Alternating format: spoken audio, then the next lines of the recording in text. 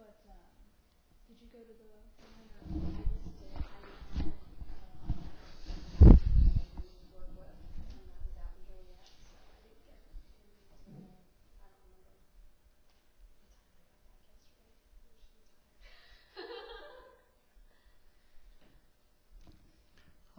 Um, I invite someone to sit here all the time, so uh, I will do Reiki on you and introduce you to my spirits, and then while I'm talking.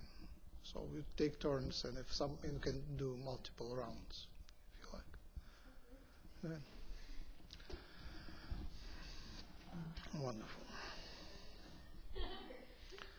I'm not very good with names, so you'll have to remind me the names. Bianca, thank you. All right, so um, I'm just doing mostly channeling, which is kind of mediumship, and my channeling is very kind of halfway. I'm I'm not leaving the body. I'm staying here, but I'm inviting my friendly spirits, and they come, and aliens, and they come. So I'm here, and I'm shifting in and out. Thank you for coming. Thank you, thank you, thank you, thank you very much for coming today. I'm blessed with your presence, and we are blessed with the presence of all helpers here.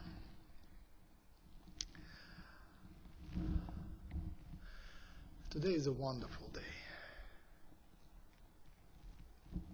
The energies are very good. The hopes are nice. And the darkness is also coming, the evening, the fall, and the darkness is a gift also.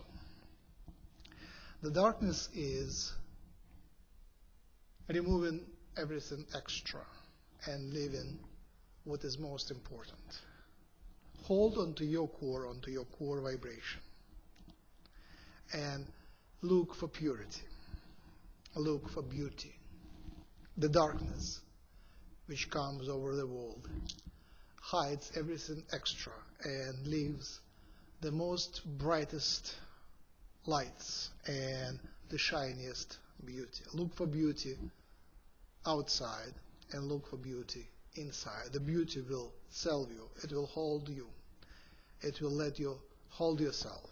It is a vortex, the point of stability in you. All right, the galactic Reiki is an idea of healing. There is many ideas here. There is many ideas, but the main idea I focus today on is the idea of the new art of healing. And the main understanding here is that you don't have to do much. You don't have to know much, but you have to be able to tune into the right vibes to tune in into right frequencies. And when you get there, everything goes by itself. It goes easy. You work with intelligent, conscious energy. You work with intelligent, conscious beings, entities. You make them friends, and they're always there to help you. And what I'm doing now, I'm introducing you to them in a gentle way. There is nothing spooky here, very gentle. And whenever you want to call for them, you call for them. Whenever you want to go on your own, they are there to help, but they listen to your wishes. There is no reason to be afraid. Other way, you know, invite them for help every time you need their help. They're here, eager to be of help. Hmm. And that's the main introduction. Um, do you want to introduce yourself? Hi, Christian. Um, what's your favorite color? That's a diagnosis. I'm sorry for saying that, but most people know their favorite color. And there is nothing wrong, but look, seek, search for it. Search for it. Play with the colors. Good enough. and uh, Are you a healer? What do you do for healing?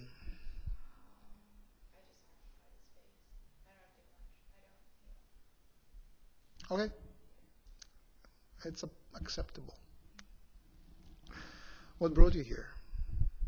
I came to your other Reiki section, so I just wanted to like, I don't know, that what you said was interesting, so I'm just here to like listen. Reiki session. So there is a Reiki session will, will happen here later. When you when you were here for the last community and you were set up in the hallway is what she's referring to. Ah, I didn't realize. So you came back to that vibe. Thank you. It's a, an honor. Nice. So you don't do Reiki yourself, right? All right. So we'll start from the very easy intro. Everyone is a healer. When you say I'm not a healer, is it's basi- basically saying I'm not doing it officially, but everyone is a healer, obviously. If you survive to that age, you're a healer. you heal yourself at least. You heal yourself. Uh, do you meditate? Yay! yeah. When you go to sleep, do you do any prayers, mantras, affirmations, invite invitations?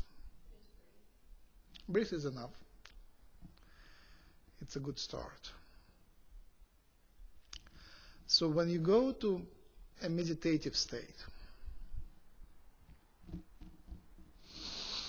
the last thing is, which is in your control, is breathing.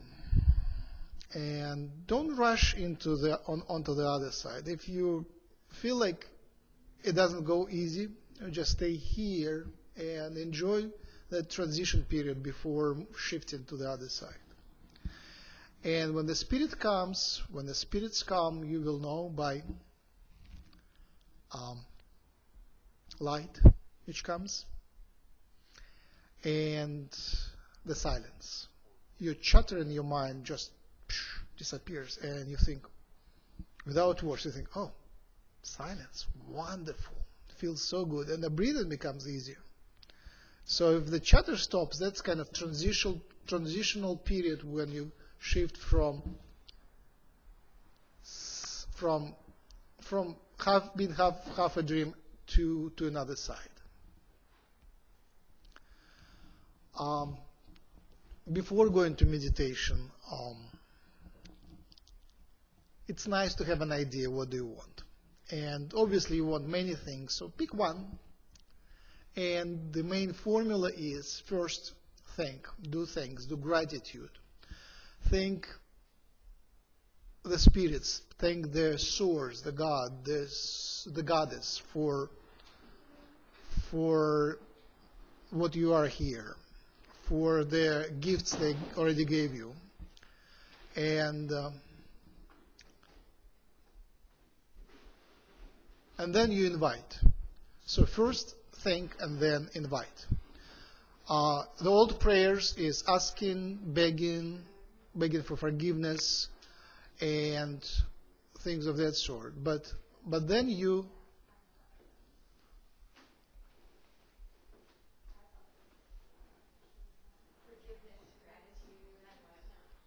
You're welcome. And then you just just invite. So whatever it is, you invite. And invitation is a wonderful thing because uh, on one hand, you you're always entitled to invite an offer. So invitation is basically an offer. You always are allowed to offer. Like you always are entitled to ask people, do you want my help? Or do you need my, I'm looking for a job, do you need my help? Something like that. Or uh, I need help, do you want to help? It's an offer.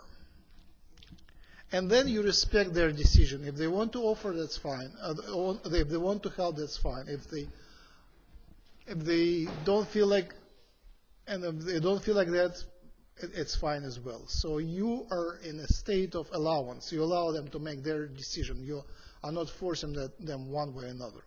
And it works wonderfully with spirits, and it works wonderfully as a prayer to God. You offer them yourself, but you don't force their response in any way.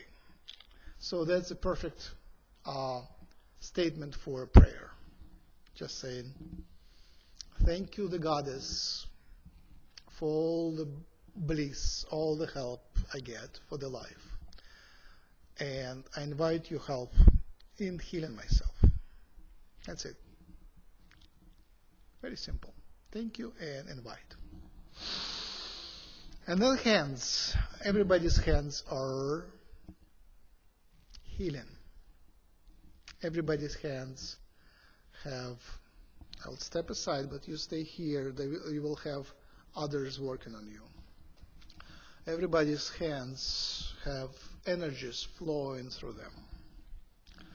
And it goes from the source. You can imagine that it comes from the sun, and also you can imagine that it comes from the earth. And it is pretty much true. From the core of the earth, there are very nice etheric vibrations come to your heart, come into your heart. And from the sun, there are vibrations come into your heart.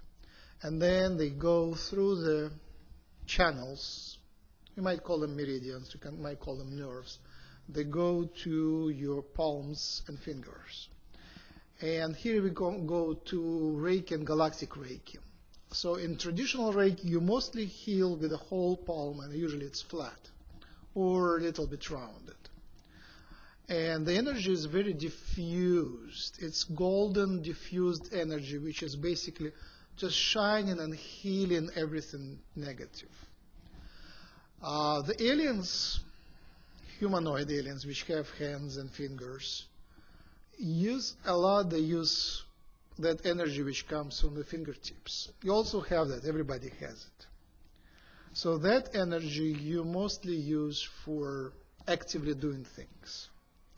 In advanced Reiki, there is so-called uh, surgery, ener- energetic surgery, etheric surgery, psychic surgery. It's called psychic surgery, where you kind of take out the negative energy and just kind of dump it on the floor. Just take it out, dump it on the floor, just in the air. Take out the negative energy. If there is pain or headache, they just kind of gently take it out and dump it on the floor.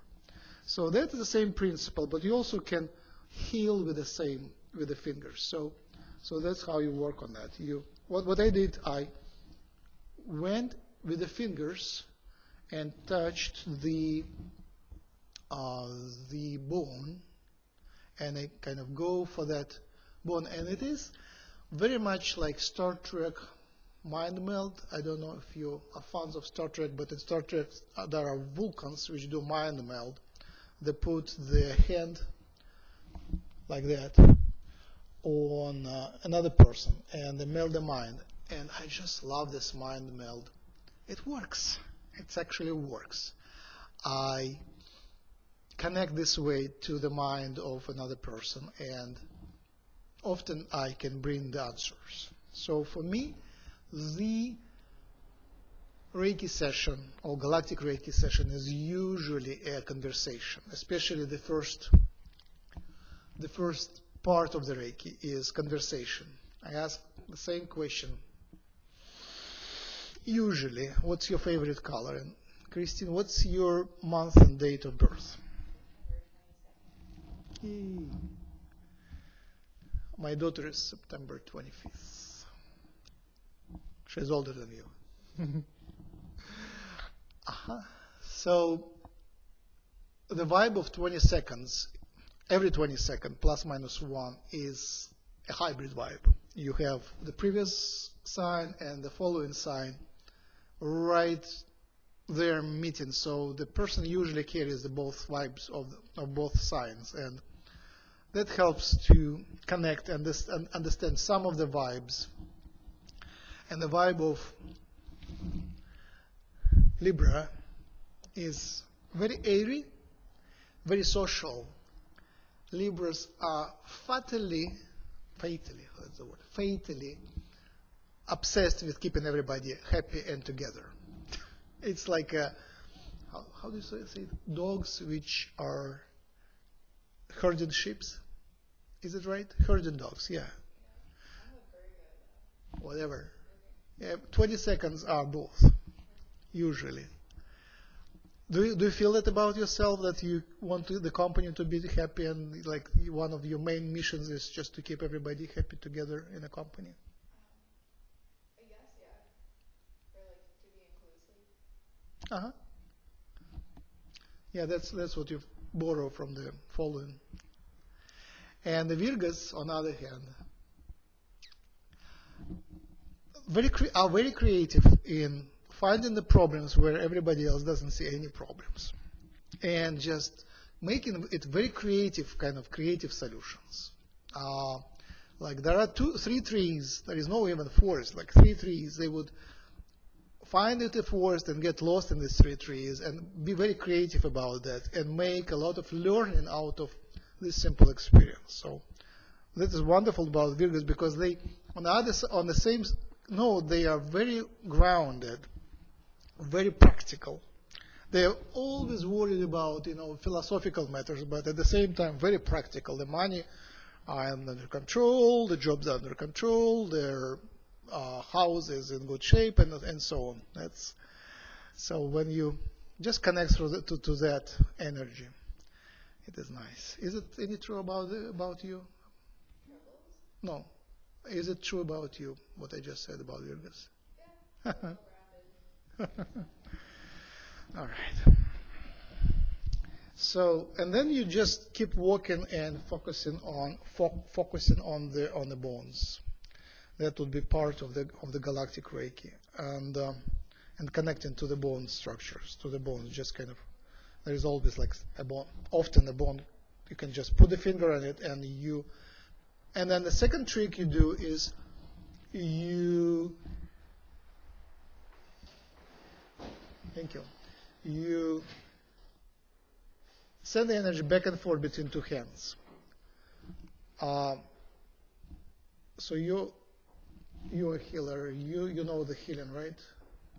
Are you the healer? Are you a healer? Uh huh. Uh huh. Okay. Okay. So you're not actively offering healing. What's your name? Claire. What's your favorite color?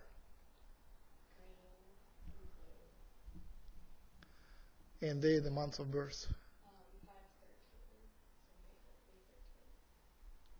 Uh, and my son is May 28th, which is a different sign. Uh-huh.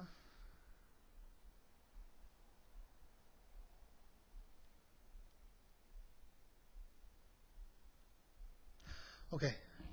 Um, so how do you so how do we deal with the energy? So the energy flows easily. So the energy flows easily. What what I do is I initiate you into galactic energies, and after the initiation, you start. Basically, that's the invitation. You sit on this chair, you invite the energies to come, invite friendly spirits to work with you. And what I give you is the the energy basically. It starts flowing. You in the following days it starts if you wish so. If you don't wish, it just doesn't flow. But if you wish so, you invite it.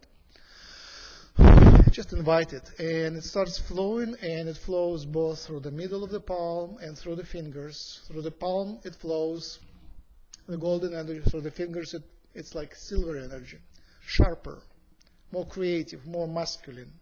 Golden is feminine, silver masculine. So you can do things proactively. You really wish to do something, you do it.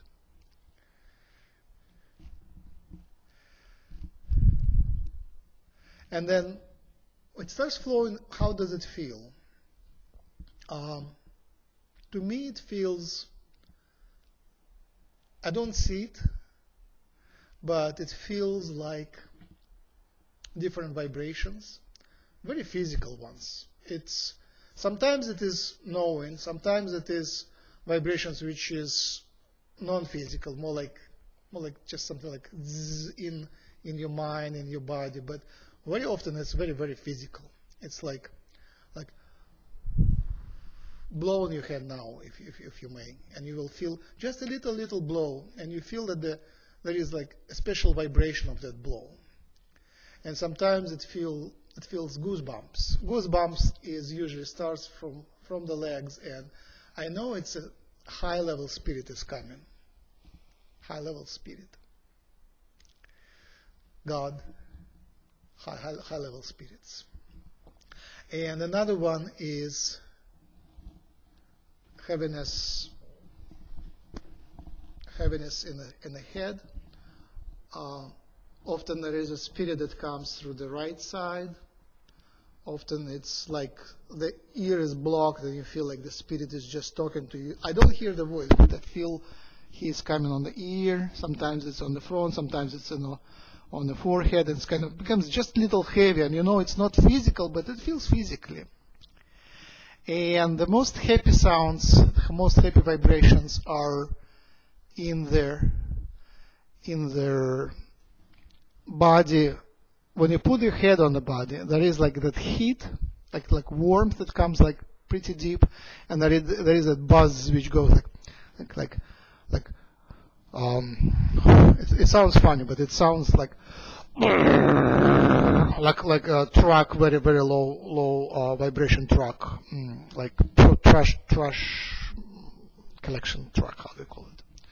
Garbage collection truck, and um, and that's that's a very healing vibration. You know, vibrations are the, uh, are very healing, right? Um, many vibrations, most of vibrations are very healing if they're taken so. Um, in in traditional Chinese medicine, there are healing sounds which sounds like very high frequency sound, like the highest you can make, like lower, like lower, like lower, like and then there is uh, purring sounds of cats, which some people can reproduce. I can do it I, when I do Reiki. I do it, but you have to like meditate to really get get into that sound. Like it sounds like. Right now I'm making with my lips, but it, when it comes from inside, from the from the throat, it's much more healing. And actually, you can use it for healing yourself if if you meditate and you need some some healing. And especially when you do your Reiki, if you feel like you really need to open the energy flow for yourself and the, the, the patient, and it doesn't flow, you just do that sound. Obviously, you have to warn the patient that it's intended. It's nothing, nothing weird, but you do that, and it opens wonderfully, opens the channels, and the energy flows way better. And you just feel like right now, I feel it's, it's more like electric energy, like in the fingers, electric. It's just fl- flows. And you likely know, maybe you know, that in Reiki you don't give much of your energy. You just take it from the universe and send it where it's supposed to go. And your heart takes a lot of energy. It feels happy, but it takes a lot. Your heart just, right now I just found that spot where it just flows really well. And usually I just invite the spirits, when I start my healing, I invite the spirits to work with me. And and they come and they say, thank, thank you, thank you, thank you. That's what I say. And then I just move around different places. And when I find that, that it flows well, then I stay in that place for a while. Until kind of I ask myself, should I stay longer? And I say, oh, it feels so good to, to stay here. I would stay longer. And then I ask, hmm, after a few minutes, should I stay longer? And say, yeah, now it's possibly the time to, to move on. So you have an internal dialogue in Reiki, it is often, always a dialogue. Do you really want to be, or it's like dilemma, do you want to be a channel for energy, or do you want to be actively healing? So, being a channel is a very feminine position where you just allow and invite, and then after that, it happens by itself. You just channel existing energy. And active would be very masculine energy, masculine principle. You just go and heal like a doctor. Take out the bad, put in good, find the hole, uh, fix the hole. Mental, but very active. Obviously everybody has both energies, so you shift back and forth. That's ideal. You shift back and forth, shift between uh, golden energy in the palm, in the palm, and silver energy in the fingers, between um, allowing energy to flow and then helping it, directing it, because when you, even when you really want something and when you direct it, you just realize you are servant and you are directed by the spirits. You're a tool, conscious tool with a free will, but you're still a tool in a divine will, divine providence. All right.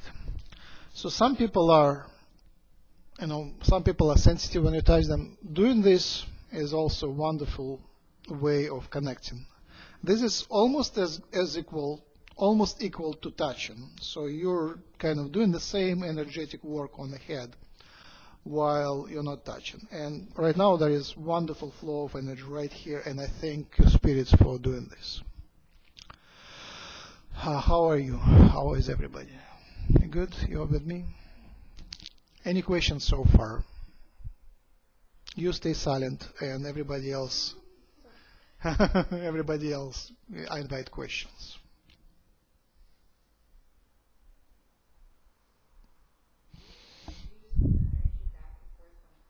Oh, thank you for asking. Yes, I forgot. You just kind of play, and um, I feel it when it goes. So I don't move the mo- the hands at all, and sometimes I just discover but it, that it oscillates back and forth between two hands. And when it does oscillate, I just realized it's something within me is doing that, and I have a control over when it goes, jumps between one and one and another. In Reiki, the energy always goes back and forth. It's always two directional, but in the hand, it just feels like in this hand, in this hand, in this hand, in this hand. And when I do the healing, like during meditations, I often have pains in my body. They often kind of wandering pains, and like you, you go do a lot of things, like teaching a class, working hard, or taking a lot of responsibility and things of that sort, making decisions. You accumulate those things which fears. Basically, these are fears, and these are very practical fears. You, you know, if you become fearless, you you do stupid things. You have to be practical. You have to really know that this is good, and this is. You have to like really be careful, right? So these little things, these little emotions, they accumulate, and Reiki is a wonderful tool to get them out, to clear them out, and just to feel fresh again, young again, uh, being able to work and so on. So, how do you do self self healing? Just a second, I will wrap it up. Okay, you stay here. I will grab another chair and invite one more person. All right. When you're ready, you can go, but I think you're good. Some some some some spirits work on you right now. When you feel that they're done, you can go. Whoever wants to come here will do the self healing demonstration. Thank you. All right. Again, I have to start a little bit from the head. And the energy is very different, right? Of course. All right, so when you do self healing, my favorite position is this.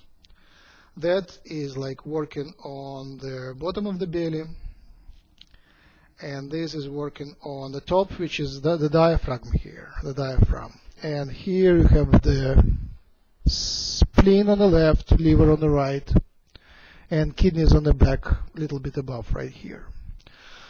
And um, you can lay down on the on the back, and that's a wonderful position when you lay down. And I feel the energy flows right now. So that would be a good position to work on your digestion, sexual organs, uh, all other organs which are nearby.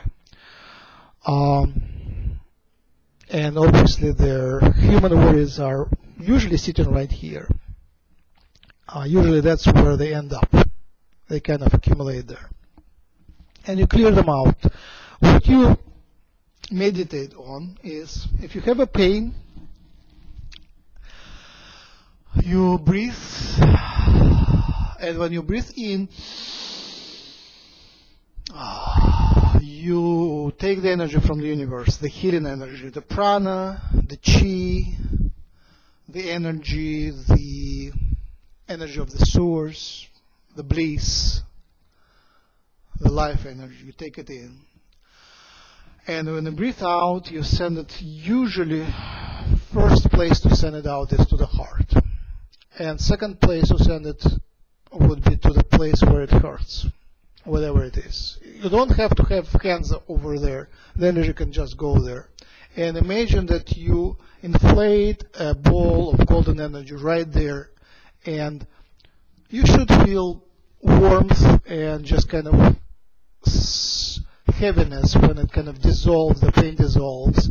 And usually then it is released through all possible ways. It can release through the cough later, or through liquids which come out of your body through any ways, and um, any any other any other like just they just disappear. So that's the way it, it goes. And then you go into meditation and you just can keep the hands there. And after a while, obviously laying down on, on, on the lying down on the back is is um, the circulation kind of stops after a while. You need to turn. So so turning on the side or on the stomach is just fine. But but you usually start from laying on, straight on, on the back. It kind of makes your body symmetrical, and symmetry is easier for the spirits to come in. And the second position for the hands would be right here, right there. And that's how you work on the lower heart and higher, higher heart.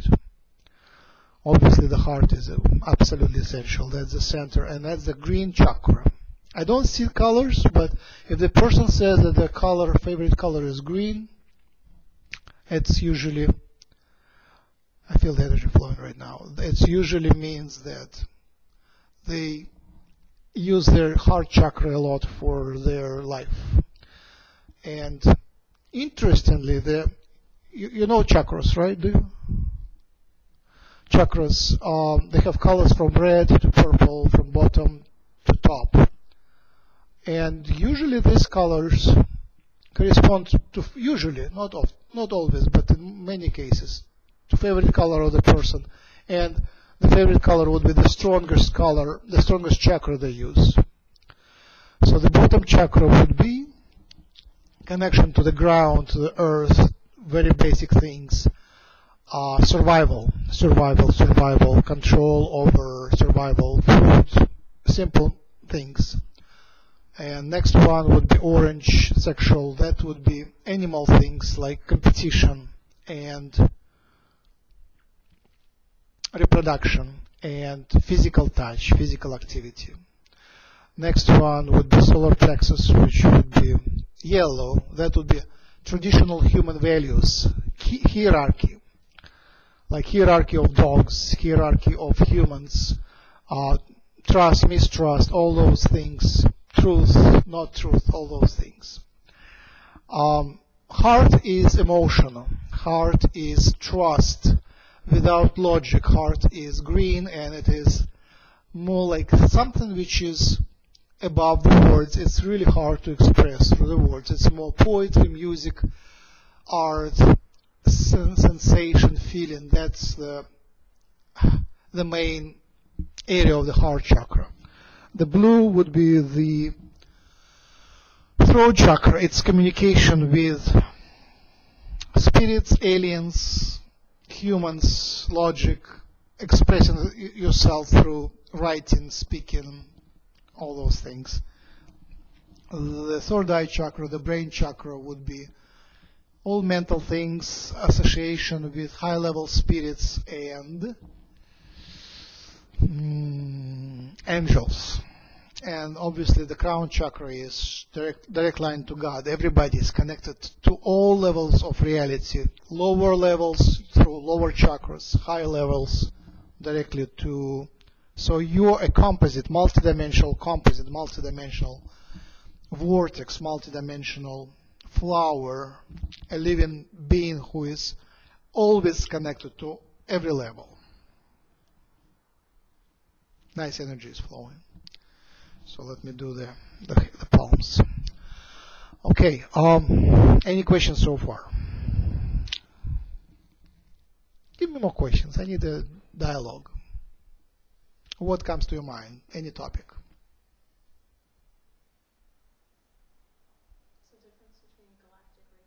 Yes, thank you. All right, galactic Reiki. I know you would ask that. Um, that was what I wanted to talk about. thank you for for for, pro- for the prompt. All right. Um, all right. So where do we start? I searched for it for a while, and uh, my search was through healing first many most of my friends came to the galactic friends through healing path and it flows wonderfully now so you do the healing and then and then they come and uh, i was eager to find answers for my studies on healing so i was talking to different mediums and and al- was always interested in what what's what is on the other side. And usually I was afraid. It is a tradition in Western society to be afraid of all this spirits and energy. So I was afraid, and that it didn't come easy. But basically, for me, the discovery was I read a book uh, of Lynne McTaggart. It was called The Field. The Field. And there it is so the science, but it's the science described, but basically the science of the very advanced science about different psychic phenomena. And it was so clear that it is absolutely real, so much evidence from many directions on many topics that when I closed the books, the book, there was nothing about aliens there, but I said to myself, hmm, next thing, let me check out the aliens. And I, as I usually do for my research, I just go on YouTube and type in aliens and the things that came looked so realistic, so true to me. This image of the greys on the tube, the gray aliens on YouTube, just looked so realistically to me. They they evoked so inner, so much of inner remembrance that I became obsessed about that. For a week, I was digging through the YouTube and different sites, trying to find what is true and what is not, what is fake and what is not and then um, and then and then I became sick, and I was sick for half a year with all different types of pains and stuff. But I already was into Reiki. I had a Reiki healer, so so it was easy to heal. I just you know was going to Reiki healer, paid for my sessions, and I was kind of okay. So that sickness was just the fear. Uh, just different memories came up. So I think, I still don't know for sure, but I think I, I dealt with them in my childhood with the grays, and that's why I have so much memory of them. Um, but they just, just they just were so creepy, so familiar. I still don't know what what's the answer. In any case, and then I became just an expert.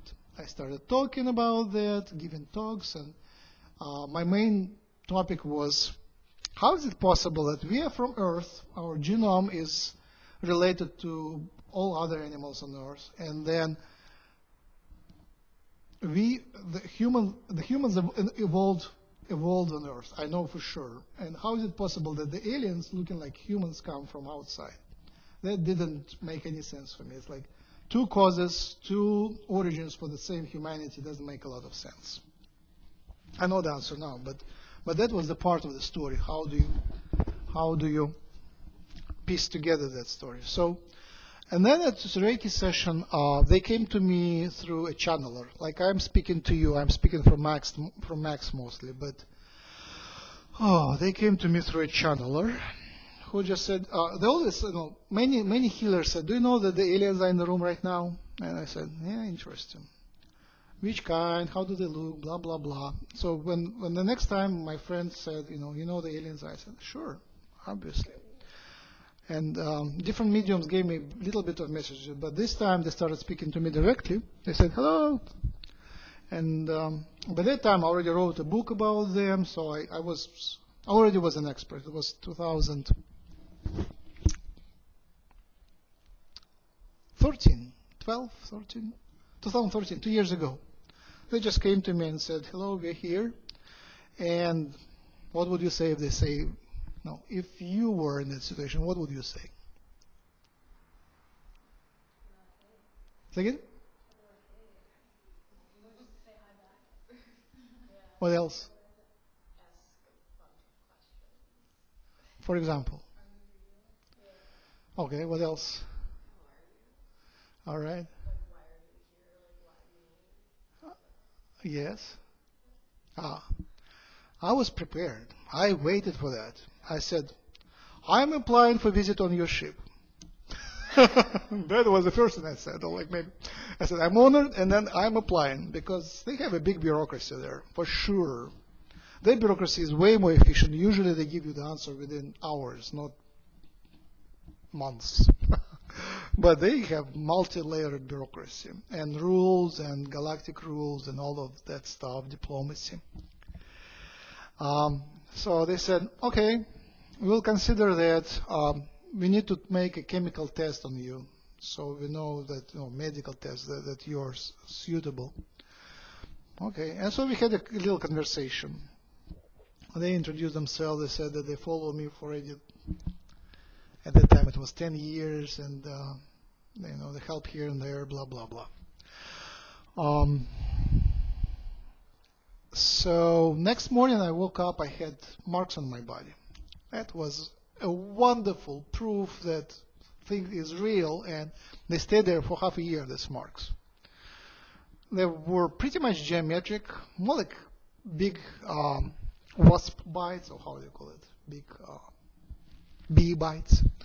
But uh, they were like a little bit in the geometric pattern, and they appeared right after, and they stayed for half a year, which is would be unusual for bites, right? That was, I mean, other than that, they didn't give me many proofs. They, I know, I never had like real something which I can show to others. Never like that. Little here, little there, miracles here and there, but but not more than that. So at some point I was like, yeah, that's enough. You, if you don't want to show yourself, I'm out of that. he said, whatever, okay. but then again, you, you decide, you know, that's the most interesting thing that happens to me. Why don't we continue? So I continue, and then they give you wonderful proofs of wonderful messages, wonderful people just, and the miracles happen for me every day now. Simple miracles, simple, but um, synchronicities like computer acts interesting. I get interesting messages, text messages on the computer and stuff, emails and stuff. Simple things, and uh, and they come when you invite them in a meditation. And once I had a, I invited them to come more tangibly, and it was absolutely undeniably. I felt myself in two bodies at the same time. Somebody entered my body, kind of holographically, but it was very very tangible. I was first scared a lot because that was a sensation I had in my childhood nightmares. Unmistakable. Uh, it was like, uh, for me, it sounded like I'm very little and the earth is so big, the planets are so big, and I'm so scared, it's so dangerous. That's the shift, dimensional shift, which feels like things are way out of proportion and I'm completely out of control. So First, I got this childhood nightmare, and then I decided hmm, maybe that's my friends aliens. That's how it was supposed to be. Dimensional shift would feel like that. How about I don't be afraid? that is the main thing which you should do if you deal with them. Just how about I don't be afraid?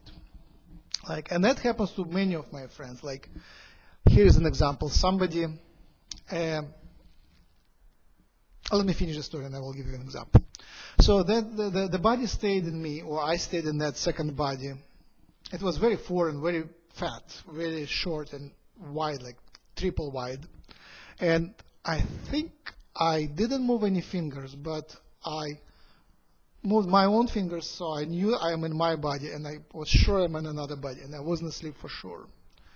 It was absolutely. And then later they confirmed that it was a visit by an invitation, and I know basically the planet and so on, the race who came. So these are some of my friends. I, I had it only once. I want to do more of that. I invite more of that. All right, so, but that was like one of the biggest confirmations I got. It was not by, not in a meditative state. It was just in the middle of the night, I wake up, I got this visit for 15 minutes, and I'm completely awake. There is nothing there to, to doubt. Um, uh, a couple of examples, like here's the first example. A girl is often taken by the aliens, but at some point they take her and spiritually maybe, or physically, it's not clear in that story, but they take her and they start dancing with her and then they start spinning and she said, stop, stop, stop. But they keep spinning and holding her hands very tightly, so uh, it's painful. So she was angry at them. So she tells them to, to stop and put her back. So she wakes up and she is very angry at them, right? And then later it, it, it was explained that, that the technology didn't work and um, the dimensional shift didn't work well, so they had to hold her hands so to prevent losing her in dimensional shift. And the spinning was just mis- misalignment of the technology. Right. So their intentions were perfect. They, they weren't evil. They were friends, but sometimes things happen. And there was another story. Um, again, aliens came, and the woman started running away because she was afraid, and sh- and they started following her. But but later, you know, they discovered that it was herself coming to herself, her other other other self, other incarnation, of incarnation, herself in the in the alien body, and. Um, it just was a misunderstanding. You know, she runs away, and they follow her just because they thought that she wanted to run, and and what it was like a game. She didn't real, they didn't realize she was scared.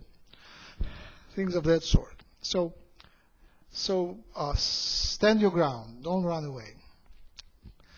Find it positive, and it will be positive. You define your reality. All right, my aliens are very nice. Uh, my most known aliens are Pleiadians. Um, Pleiadians live on the planet.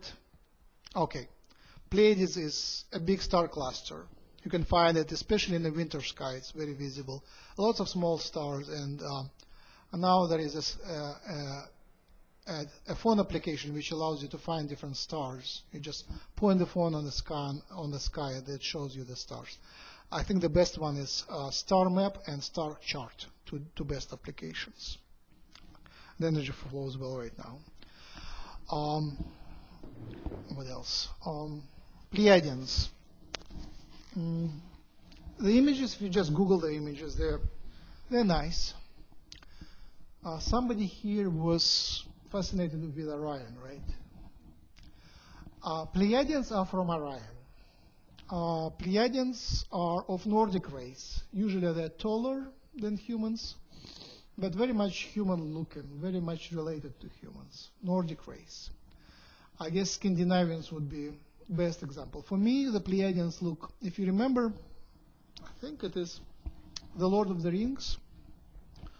Uh, there, were, there were elves in Lord of the Rings. Do you remember, like blondes with uh, long hair, elves? to me, it's just the perfect image of Pleiadians. They, on one hand, they're very cold. On the other hand, they're very spiritual, very smart, and emotional in their way, very different way. But they have emotions, just very different, very not even snobbish, but very elevated, very high. So humans for them are barbarians, but on the other hand, uh, the main culture of Pleiades um, is from the star Taygeta, uh, the planet is called Erra, the third planet, on the star Taygeta of Pleiades. And Erra and Terra are like sisters. Erra, Terra, Terra is Earth, Erra is their planet. And they follow us very tightly, very closely. They even have uh, their fashions modeled after Earth fashions. So there is, uh, they, they, they know our culture in superficial way, but they, they follow the culture. And they make fun of us, but they love us, and they help in many ways. I have tons of relatives here. Many Pleiadian souls are incarnated here, so it's one, one of the connections. And the second connection is genetic. We have common ancestors, and some of the Pleiadians just come here and live on Earth.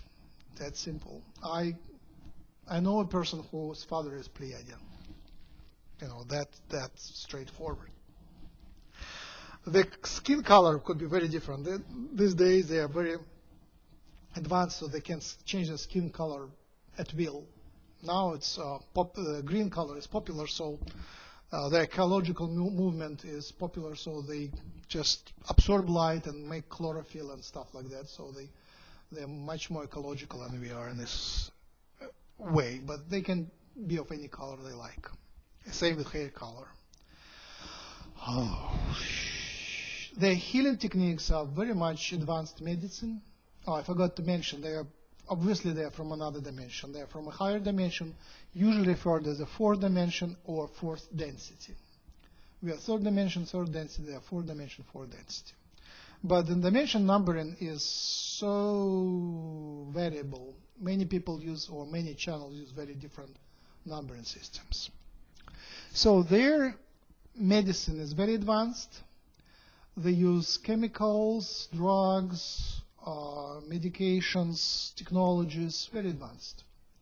So when they come and do the therapy here, uh, they use their technologies transdimensionally. They can measure your different things, can affect different things. They can access your different inner system, inner system, and so on. Um, what else do I need to talk about Pleiadians? The humans are hybrids. The whole human race is a very hybrid race. We have ancient alien ancestors, main five races, and about 20 uh, minor races who contributed to our genome. So during the history, they came to Earth.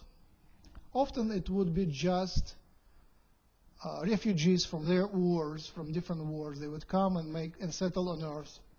And because the Earth is different from their planets, they couldn't live directly on Earth without modifying themselves. So they could would have artificial domes, artificial climate, but then they would look for different areas. They would look for uh, other ways to genetically adjust themselves so their descendants, their children, would be able to live on Earth without artificial climates, just to live naturally on Earth.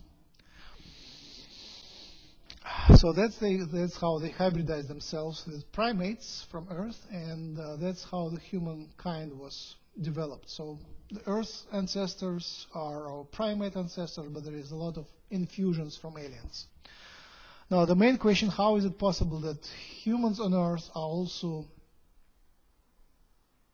originated from Earth and from other planets? Is because their life is cross seeded between different planets mostly some by, some by aliens and some by angels and spirits. They just do a lot of designing and creation of different species. That's what they do. They nurture their life. They are gardeners. And at this stage of development, we have free will individually and collectively, and that's why they don't interfere much openly. Neither gods nor angels, nor spirits, nor aliens. They leave us to ourselves, and if the human society as a collective, as a whole, doesn't invite them, they just offer and wait. Offer and wait until they are invited.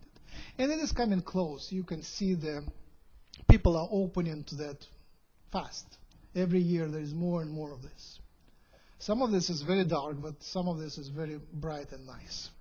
And healing is a wonderful, nice way of mm, connecting to the aliens. Hmm. So I have a Pleiadian line, bloodline, coming from both my father and my mother, and many of my friends do. So when we find other Pleiadians, we just feel a similar vibe and similar mood, and uh, you know, many of us feel that we are not from this earth. We are just sort of hybrids serving here, voluntarily, voluntarily serving here. We came here to serve, but but much of our genetics, much of our spiritual ancestry is from elsewhere. And it's normal. It's There are many of us here. Some are consciously understanding that we are hybrids. Some are not knowing that, but they're still hybrids, right? And many are just, you know, they don't accept it. Some, some just don't accept it. So we offer our help, but we don't force it.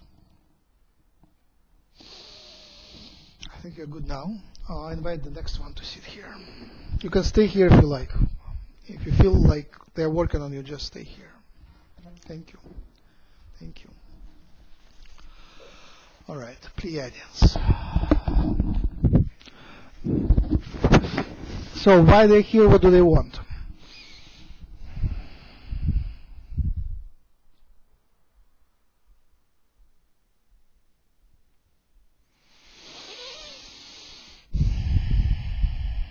Many things.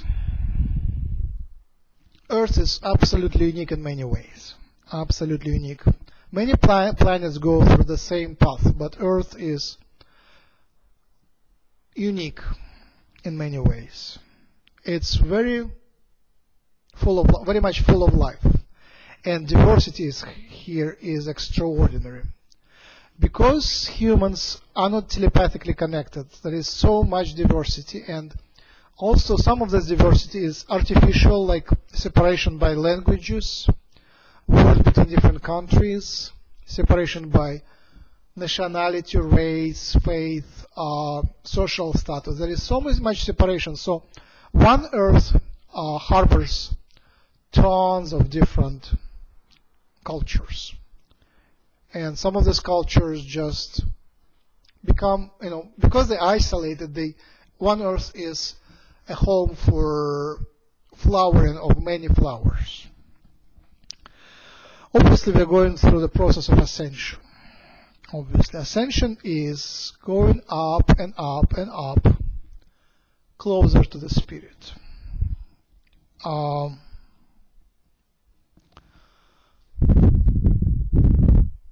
and we end up in a world, in a dimension, in a density where our alien friends are. So we are shifting, and the estimates are that the shift will take a couple of generations and about maybe 50 years. We have already the seeds of the new dimension, new, new Earth, new vibrations.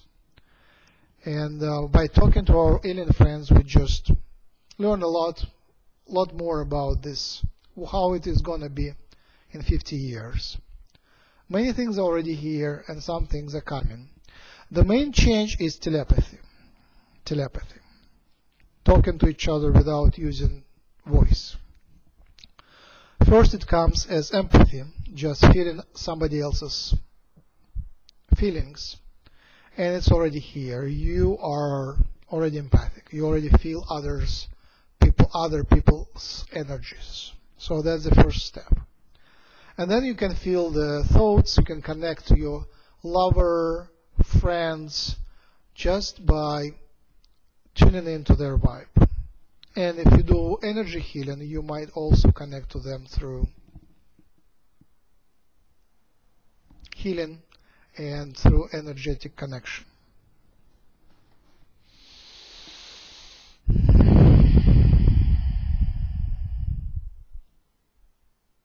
So the second alien race, which is very close to me, very dear to me, are tall greys. Tall greys are very benevolent. They're called Yahyel. Very benevolent. Very high-spirited. Very talented. And serving the humanity in many ways. They are closest to humanity genetically. Pleiadians are, look closest to humans in many ways, but they have common ancestors, but they have evolved somewhat apart from humans, so they have more more mutations, more difference from humans than Yahyel. Yahyel are created from humans. They are our descendants. They created from human DNA and from the gray DNA. So gray plus human created Yahyel race, tall grays. They're very advanced. They evolved much faster than we did. So they are in a four dimension, four density, but they are very talented, very spiritual, they're connected very spiritually, very much to higher dimensions. So they do some of lots of energy healing and they're wonderful healers and they offer their services to human healers. They are basically they work with human healers doing the partnerships and usually you would have when you do Reiki you could invite and different healers would come. Some of them would be Pleiadians, some would be Yahyel, some would be Arcturian, some would be Sirian some would be Lyran, and a few others. So we are working with these races. Pleiadian, Yahyel, Sirian, Lyran, Arcturian. So that Reiki that which I showed where you use fingers to connect things, connect the spots, uh, that would be, in, in big extent, in large extent, would be Yahyel way of doing Reiki. Yahyel way of doing Reiki. And here is another topic, hybridization. So hybridization program was going on Earth for all the life of humankind. Some of the hybrids live here, and some of the hybrids live up there. Some of the hybridization happened 100 years ago, some 200 years ago, and so on. Uh, our friends Pleiadians and Yahyel were part of this hybridization program. Yahyel were created through this hybridization program. And me and some of our, my friends, light workers, have children up there. And we miss our children and we visit them once in a while in our astral travel. And we hope that soon we will meet them when the open contact happens. And we hope that this open contact will happen very soon, within 15 years. Hopefully much sooner, but within 50 years, we are pretty much sure it will happen. And first people to come here will be our children, which are already grown up, because the time there is different. So our children in, at large usually are already of adult age. And until recently, until about two years ago, this hybridization was secret and people didn't really have much a say about, didn't say the physical minds of the people, didn't, didn't participate in this hybridization program. But last couple years, we asked our friends to take only volunteers. So if you wish to have children up there, you just say so and work with them to create those children. And uh, if you don't wish, they wouldn't force you. There is enough volunteers to have children up there. The reasons are different. First, it's just fun to create a child. It just you feel you feel called, you feel called to do that. You feel called to do that, and you feel love. You feel that creative energy. You feel that it is absolutely beautiful to have a child up there, and these children grow up in these cultures: Pleiadian, Yahyel, Lyran, Arcturian, and so on. And they are telepathic. They are in this four density, in this different dimension. They are, they will live hundreds of years. The lifespan there is longer. And some of these children visit us here. Yes, they they physically can live here on Earth for hours, uh, and then they have to come back because it's it's not easy to be in this density in this environment. But they visit and walk on the streets, adults. There is many stories of meeting the hybrid children. they look a little bit different. Their vibe is a little bit different, and the questions they ask sometimes, or the things they do, is showing that they don't they're not from this world.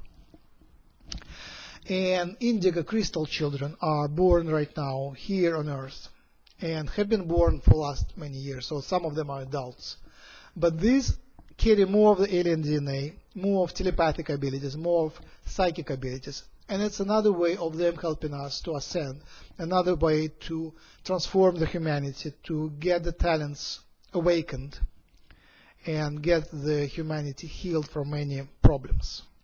The new generation will solve these problems by by shifting up, becoming more happy, more harmonious, and uniting the humanity into one global collective network of friends.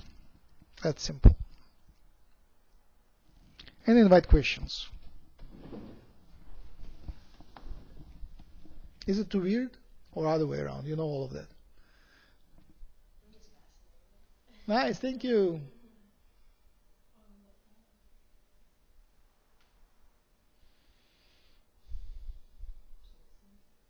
Thank you. Um, some of my friends, they just are there. They go there like every night, and their time is different, so they just can spend there a week and be absent here for five minutes. So I just recently kind of we we have this conversation all ongoing for two years now. We have a big community of few, hundred people, and they talk to each other. It's wonderful how we found each other and I'm, I'm a co-founder of the community. It's called Human Colony. It's another story, but it's called humancolony.org.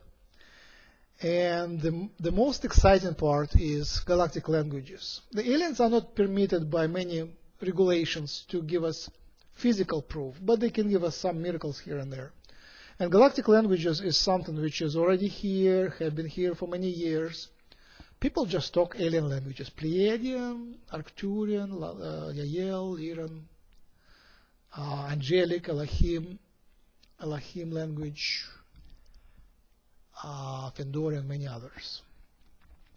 And some of people thought for, for the life, for the whole life, some of them are old people already, that they're crazy. They have the language, they can write something, and they have no clue what it means.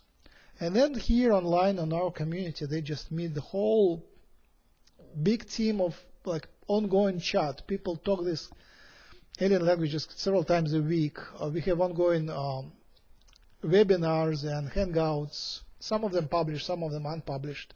Video chat where people just talk about their experiences, talk languages. It's it's fascinating, and um, I was I don't speak them yet, a little bit maybe, but um, when we have like nine people in the chat, and all of them speak Arcturian, and some of them can translate, and they play like a fairy tale. They just read it, taking turns. They know what to say next, and someone can translate what's the whole fabula of the uh, fabula of the of the story, like um, Three Little Piglets or something of that sort.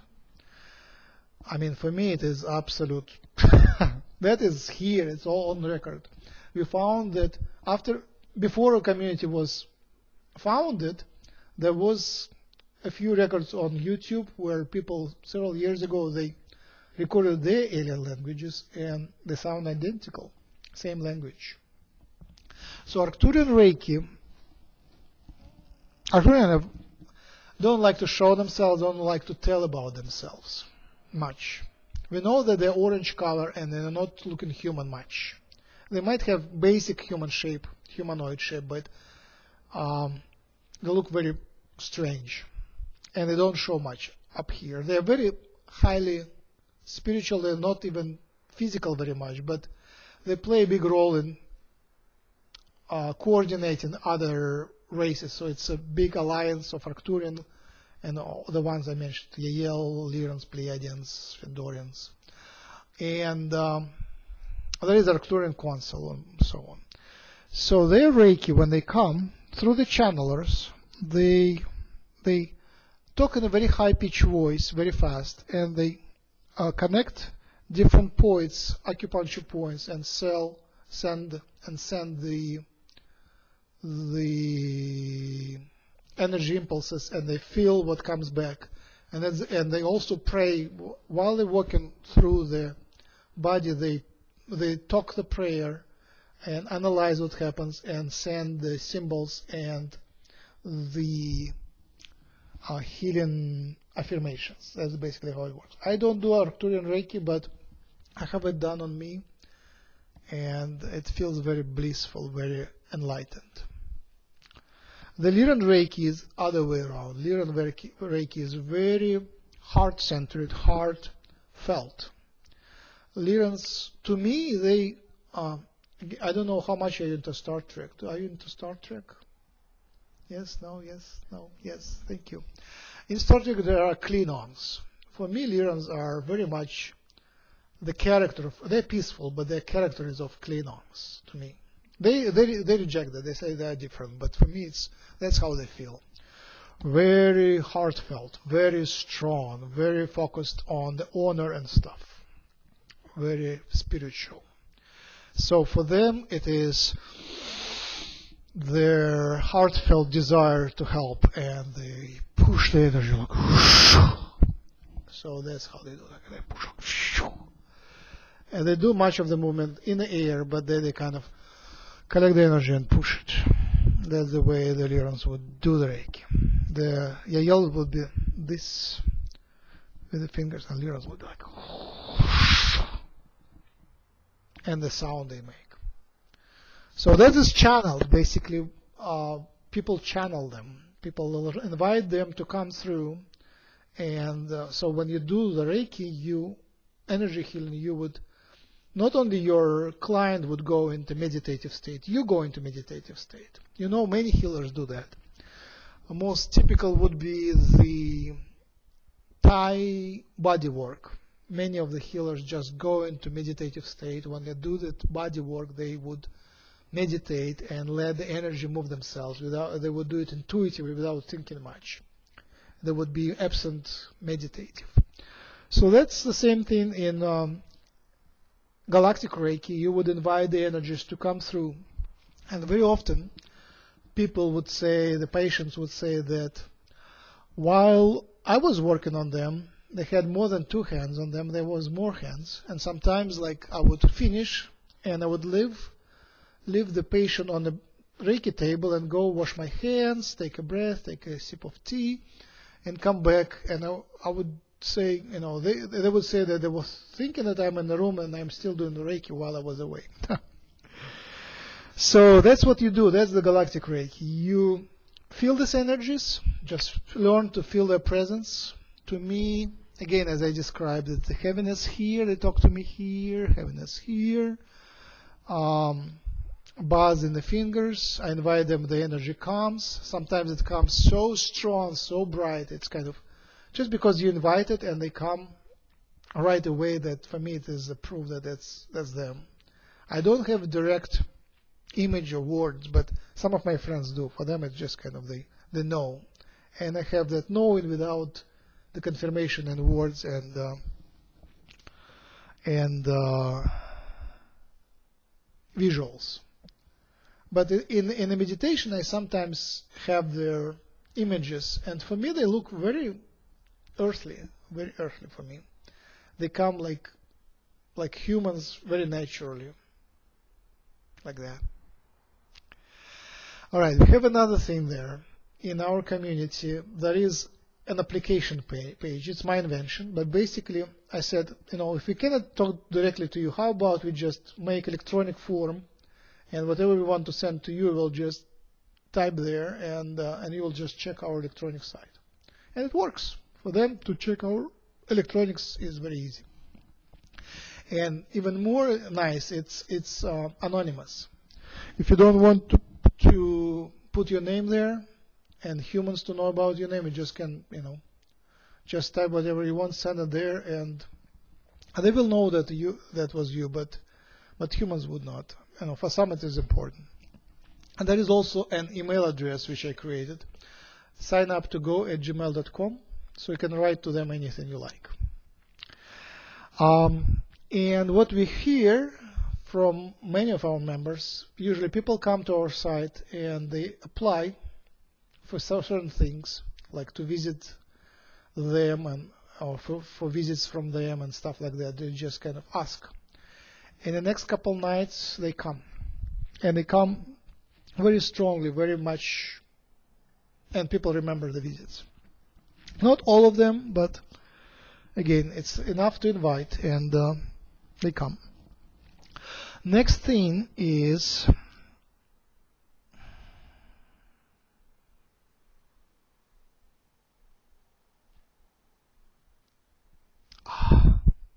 energy flows nicely. Hmm.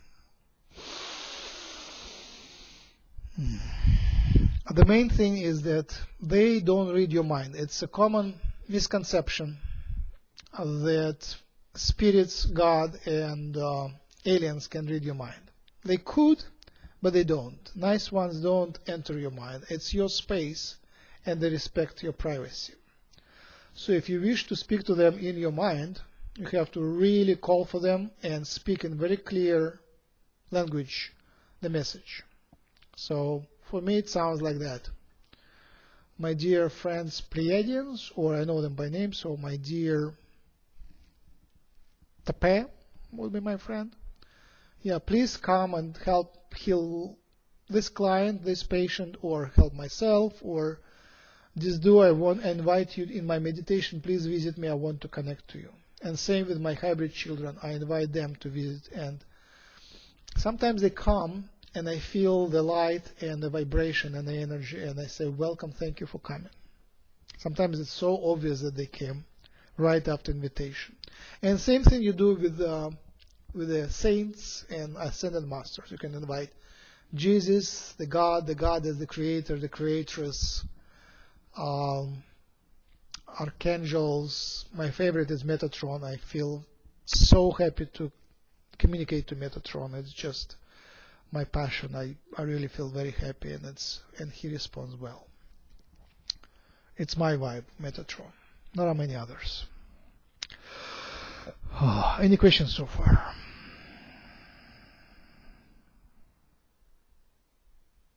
The Galactic Reiki also has symbols.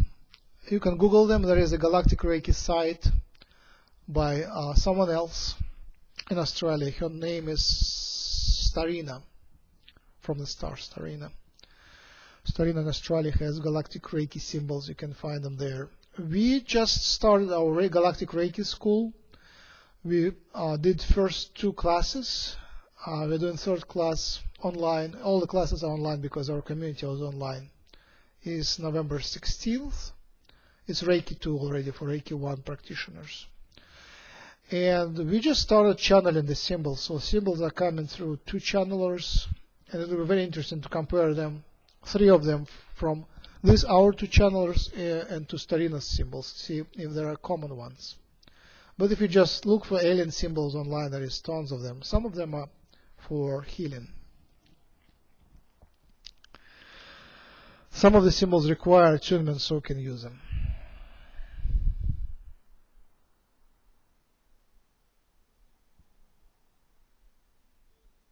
Galactic Reiki. Sirians are um, different races have different influences in different areas of the Earth. Sirians apparently have a lot of influence. They had the colony. The Syria is one of their colonies. Surprise! Syria is after Sirius. India is very much Sirian tribe from Sirian colony. Uh, there are also Dogon tribe in Africa who still remember that they came from Sirius. They still remember their star alignments and star stars and planets in the Sirius. They pass that tradition what is what came from the Sirius and some other tales and stories. They just know. Um, Sirians don't have much of hybridization going on with Earth people, but right now, but because they shifted to higher dimensions, they are not much compatible anymore with Earthons. But their healing is very nice. They're very spiritual, and you can invite their healing energies and communication from Sirius. Uh, Orion, I have to talk about Orion. So Orion is right now is uh, mixed. Orion's you know, it's a big, big star system with a lot of different races. Nordics come from Orion, so they would look close. Uh, they would have typically, traditionally, they would have albino appearance, very light eyes, absolutely white hair, very white skin, and so on. But obviously, their descendants have all different varieties. It could be like blue eyes, black skin, and so on. Um, we had recently we had pretty bad relationship with Orions. Uh, they were not very good friends to Earth, and they tried to control Earth in a, in the old ways. So they had their representatives in uh, the top levels of different corporations, top levels of military, top levels of secret organizations, financials, and so on. Right now, most of them are gone because they just crossed certain galactic regulations and were forced to leave. So uh, these negative Orions had to leave, but they were on Earth for long time, so they have the knowledge of Earth. So the positive people from that culture are helping our friends. So some of the Orions are positive and they have the biggest knowledge of modern politics, politics and finances. They have that knowledge and practical understanding how things are done. Our Yahyel people and Pleiadians are pretty much lost. When I speak to them about our politics and finances, they want to help, but their understanding is like, like alien. They don't understand. They don't even. They can't even think about that. It's so foreign to them. Like they're telepathic, and lying is not a good option in telepathy. You can feel when person is dishonest. So all the deception in human society just is above their understanding. Like we have the deception everywhere, right? You know, right? Like advertisements. you know, in the store, commercials, everything is deceptive. Like even the fake, you know, even the nice things about politeness, you have to deceive people by not showing your true feelings, not showing your true uh, intentions, your true self, your true story. You have, to, you have to hide yourself all the time. So in uh, higher level society, alien societies, future Earth, that would be, would be much more natural. You still are polite to people, but you are polite because you love them. That's simple. You, you can show yourself because you are very nice. You can tell about yourself very nice. Like people in love, they don't hide that they're in love. They say, I want you as a mate. I want to have a child from you. That's simple. Nothing of the old ways of hiding your feelings and and stuff like that. Because when you're telepathic, you cannot hide. Any questions so far?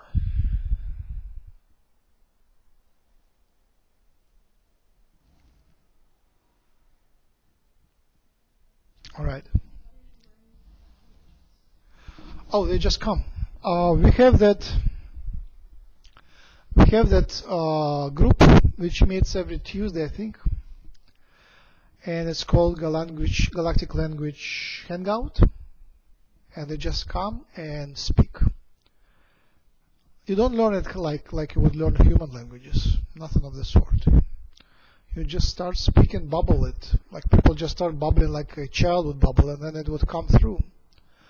And many people first start speaking galactic language, and then and then they start channeling because the galactic language is the first way of connecting to the spirit and Obviously invite it. You invite it. Again, as usual, you just pray and invite it. And uh, and later it just comes. You start speaking. I I'm so busy I can't even play these games. But bubbling is easy. Blah blah blah blah. And uh, you just start invite it. It starts coming to you. Some of the languages are sign languages, alien sign languages. That would be maybe the easiest way for me to to, to connect. Just for me, I love playing with energies around. I would show you with my fingers right now, but the energy flows so well I can't really stop. It flows perfectly. Can you feel it? it flows really well here. Alright. Incarnations. The key understanding is incarnation, right? Incarnating. The soul comes here to get experience. Right? You know about that, right? the soul comes here to get experience and this world is an illusion obviously this world is illusion it's a very good illusion very strong illusion it's really hard to tweak it apparently you most of my people, listeners, have seen the movie Matrix. The Matrix, yes, yes. So don't, yes. So you don't, I don't have to explain. So the idea of the Matrix is very strong, very correct one. It just you know in the Matrix it was evil machines that made it. In um, our understanding, New Age understanding, it is us who made it. The Creator made it.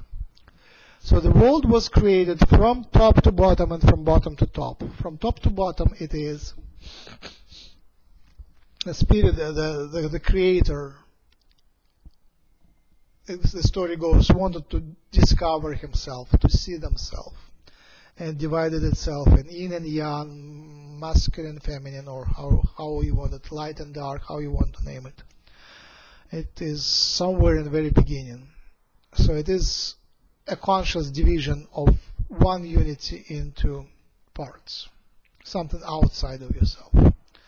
And then it became, and then it started to evolve, and it, it evolved from top. It was first very spiritual, very um, untangible, untouchable, and non-material. But at some point, it evolved, evolved, and evolved to the level that it created the matter. And then the matter world was created and evolved from the bottom to top, from uh, elementary particles to atoms to molecules to things, and then the whole galaxy, and the time was created. The time is an artificial construct which allows learning. And learning is a wonderful thing. You can evolve when you have the time, you can evolve. So, the, and in our reality, the time is linear. You basically are stuck with time. You can shift back and forth. But in uh, fourth density, in the alien world, it's much more fluid. You can go to the evening and go to the morning of the same day. You are shifting back and forth. You can shift even from one timeline to another timeline and communicate with the spirits, communicate with your uh, spirit guides, communicate with um, angels. It's wonderful. And uh, we know for sure that because we have so many confirmations, we can speak to them, we can speak through them to angels, we can speak to our deceased friends, and so on. Uh, we have, in our community, we had channeled many known spirits and people and ascended masters. I'm very grateful. You know, Jesus came to us, Muhammad, Buddha, Confucius, um, archangels, an angel, my friend angel. A fairy came. One of the most popular videos. A uh, couple of visits by the fairy. Um, from humans, I'm very honored by the visits of John Lennon and um, Martin Luther King came a couple of times, and a few other historical figures came, and it, it felt very real, and have a relationship right now. So we invite them, and obviously our alien friends come and, um, and speak to us. All right, incarnation. So the soul comes here, and for healing, it is important to understand how it works. So the soul comes here to get an experience. And this life is has programmed in it sicknesses, disbalances, and different planetary movements and different energy movements. At some point, things go uh, progress, and some point the things go retrograde, and whatever is built kind of is is being shaken at some point like the moon goes grows and you can build things. Your projects start with a new moon then they grow and then um, the moon wanes and different things just fall apart. And this right now we have this fall energies where things become darker certain things fall apart. So focus on the focus on the positive. Focus on what is dear to you. Make a choice. It's a time for choosing. Choose the main vibration of yours. Choose what is most dear to you and let other things fall out. And that relates directly to the idea of healing, which in large extent is letting things go, letting things go, detoxify, de- uh, detoxify and purify yourself, becoming pure again, more crystalline again, more harmonious again, more beautiful again, and the key word here is coherence, which is another word for harmony, meaning things go resonate well, purified, crystallize, and become a liquid crystal, energy crystal, perfect. The human body, physical body, is built on the blueprint of the etheric body, which is complex. Human body has the DNA, and as you know, it is a hybrid DNA which has Earth genes, alien genes, a lot of different programs which are dormant and silent. And the life traumas, the life experience here in the Western society is um, blocking many of the things. So that process of purification, unblocking things, activating things, letting old programs go, healing all traumas is the key of the Reiki and energy healing and galactic Reiki. So much of what you do is nothing outside. You don't do anything outside other than just intending things, inviting things, intending and inviting, and again thanking. You start your prayer from th- from thank you, and you end your prayer with thank you. That's the key. Because the thank you gratitude state is the most healing state. When you see the bliss, you see the blessing, you see that things are going your way, you see in everything negative, in everything negative, in the darkness, even in the sickness, even in the death, you see the positive side. How can you see the positive side in the death? The death is not the death. The death is the death of the physical body. You keep going. The, the soul is eternal. Your life experiences don't go anywhere. They all are recorded. You will have it forever. You create it now. You will have forever your life with you, your identity with you. You don't lose it. The death is just a transition back home. You come back home and you have your whole life which you can replay in any way you like. You you replay the different scenarios in any way you like. Uh, from your perspective, if you made a mistake, you can fix it there in the spirit world and so on. Is it familiar with to you, right? In all of that. Okay, I'm done with you. Just sit here, uh, enjoy the energies. All right, who is next? Thank you. When you do galactic Reiki, do you scan your body? Can you feel any negative energy or aches in the person you're doing Reiki on? Absolutely, yes, yes. Um, the only difference, I mean, it is the same Reiki. In Reiki, you scan. Um, so let me just describe the process. Yes. Um, usually you start from the, I start from the head because it just feels good, for, good to me. I just feel absolutely happy. So uh, before scanning, I open the, the energies and they flow right now pretty well. Oh, wonderfully. Yes. This head is taking a lot of energy and it just feels good. Wow. So I started opening the energies.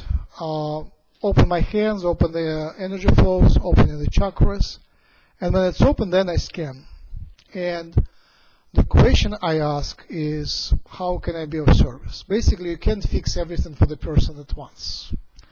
So you have to fo- focus on one thing. You have to focus on the main message, main answer. So my principle is, what's the next step?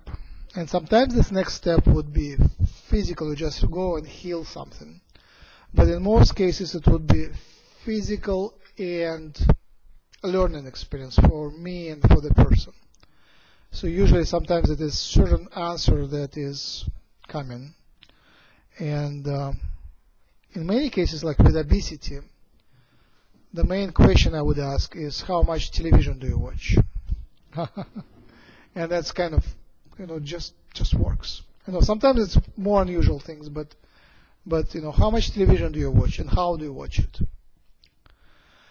And then, um, you know, how about you switch from streaming from uh, things which go, like from programs just to streaming on demand, basically, from streaming all the time to streaming on demand. When you control when you when you watch, what you watch, and at any moment you can scroll forward, scroll backward, and uh, cancel if you like, not being controlled by it. Um, and then you just ask the questions and they tell you. You just talk to them. I mean, that's how it works. Galactic Reiki is talking to our friends. You talk to the spirits, talk to the aliens, and for me, sometimes it's obvious who is giving the answer, but some most often I don't really. It doesn't matter who is giving the answer. I invite my friends, and sometimes it is.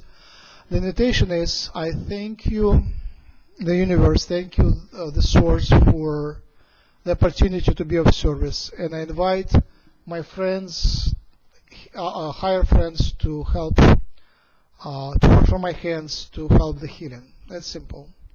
So invite them, and uh, and they come, and you know they come because things just happen. I uh, one of my you know very enlightening experiences was very simple. Uh, I I do a lot of Reiki share.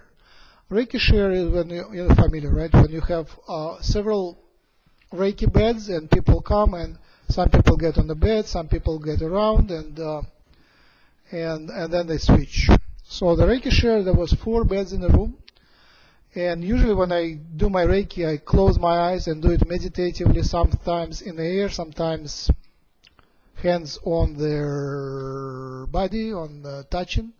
At this time, it was both hands were in the air, and at some point my hand just jumped just like physically jumped, and I'm sure I didn't move it. It was just something else moved it. And I opened my eyes, and I saw that on another bed, the lady just looked at the clock. Just she, she lifted her head and looked at the clock. So that was it. Her head on another bed moved, and my hand responded because all people in the room are connected to each other. It is, you know, it is. That's that's how things are especially when you're open to that, when you do Reiki, when you invite it, it's all interconnected. Any more questions here? I would show you things with hands, but that so flows so well, I don't want to get them off. So that's my, my main principle. If it flows well, don't don't bother it. Uh-huh. Stay there, serve there. How? So what do you do if if you feel pain when you do Reiki? Um, you you oh it, I mean the pain can come from the person. If the person is in pain, you just kind of take it. Sometimes you don't intend it, but sometimes it just happens. If you get connected, you take it. So how to to release it? A certain amount you just can tolerate, and uh, you know how to get rid of it later. So you just can meditate later, and usually because you do Reiki, because you are into this healing art, it is I can go now. It is um, you're protected in many ways, and uh, they they help you. You like whatever you take on yourself, they help you recover after that. So we, my friends and I, we don't we're not afraid to go and heal cancer patients, do Reiki in the hospital with.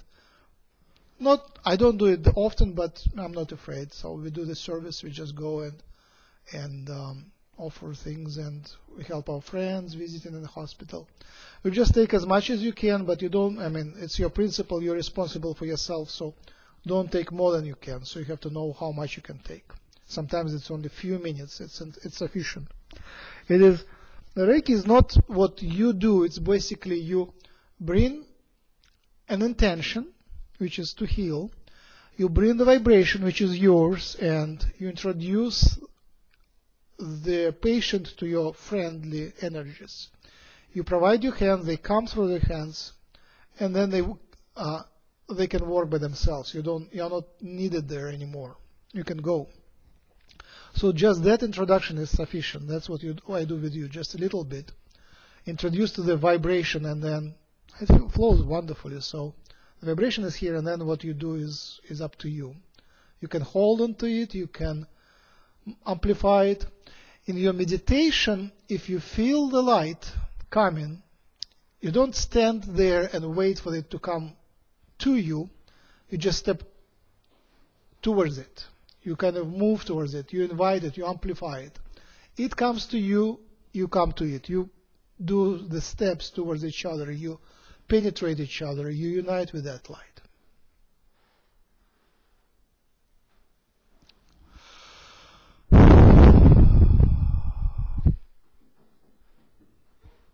What was the question?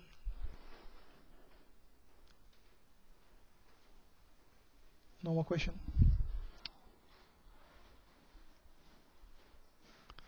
So very often I send the energy between two hands and you know what you're working on, the organs, and uh, each organ has certain symbolic meaning, like liver, spleen, kidneys. Uh, diaphragm is essential. So basically what happens to the humanity right now is ascension. And again, it goes through years, possibly yeah, you will. You already see the the results. You already see that humanity is shifting. Things lighten up.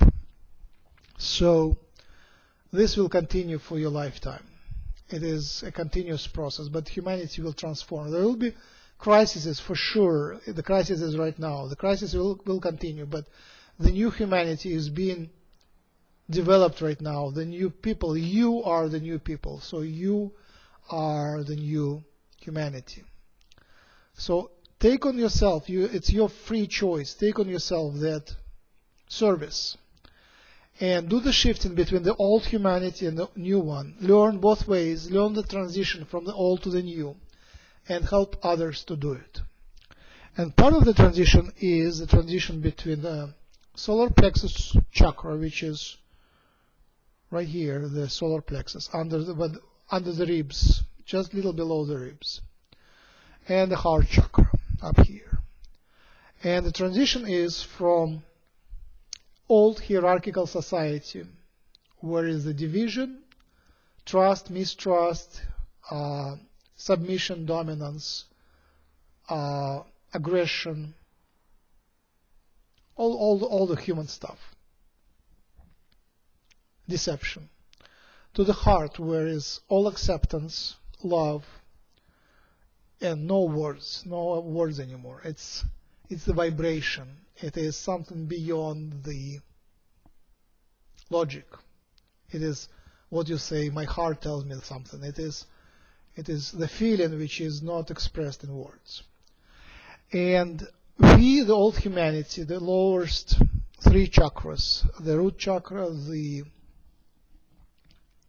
sacral chakra, and solar plexus chakra, old humanity is separated from the new humanity by the veil, the veil of forgetfulness, the veil of not knowing. We don't even, many of, huma of humans don't have even connection to the spirit. They are blocked from the spirit. They cannot speak to the aliens. They cannot speak to the spirit, so they're blocked from them. So that's called the veil. And this veil corresponds to the diaphragm. This diaphragm is right above the the I don't know the word, but basically internal organ volume of internal organs, area of internal organs. I am sure there is a medical term for that. Term for that. So uh, now the heart shifted to the heart is is the new humanity. The heart is acceptance, telepathy, empathy, everything. So that's the shift from control to trust, from control to trust. Obviously, doing too much trust practically is impractical because, you know, I exercised that trust and I bought a car which was counterfeit and it was all broken. So don't uh, don't be impractical. Keep your old chakras, keep your old knowledge. Be practical in old ways, but still open your heart and learn how to connect with your heart to good things. To good things. The traumas of childhood, the traumas of upbringing is inequality, inability to trust yourself, uh, the trauma of being unloved by parents. It's everywhere.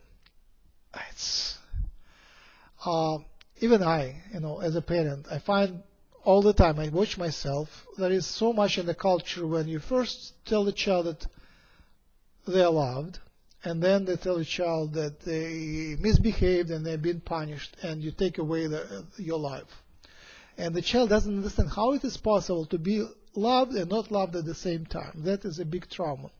When a child is crying, it's it's it's a trauma by itself. I, you know, I always use my Reiki and my compassion to uh, to stop the child from crying because the child didn't deserve that cry, that um, distress. Deserve, doesn't deserve that distress. And uh, do the same when you drive and see the car accident. Send your Reiki just from the distance. Just send your Reiki.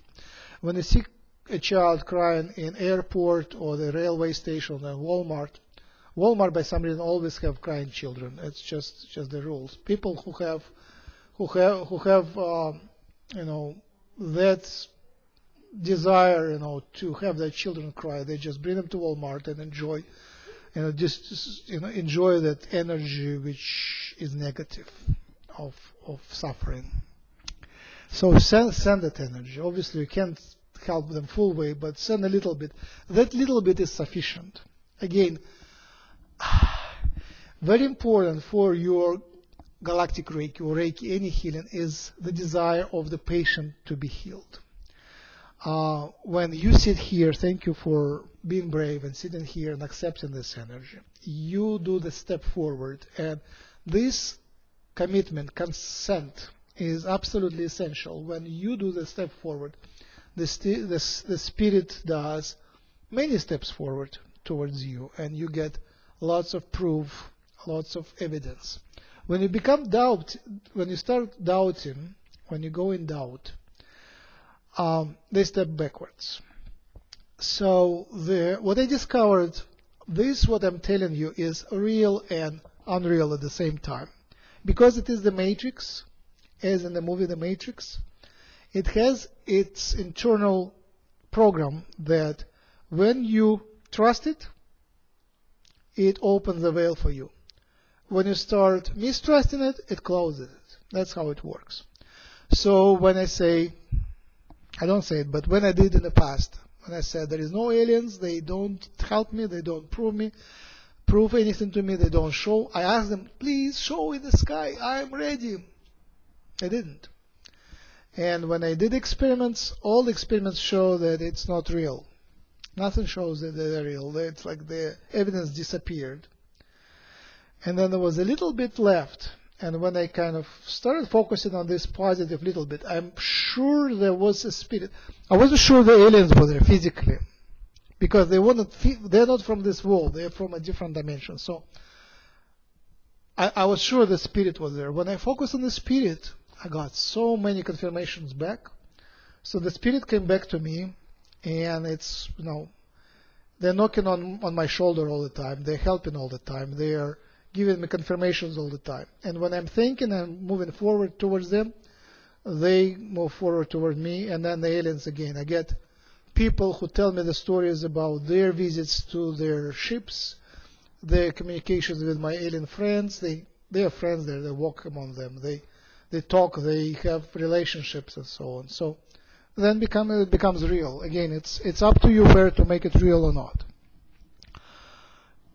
So this is my first person, right? You all have sit, have been sitting here, right? Right. So um, the spirits, the confirmations.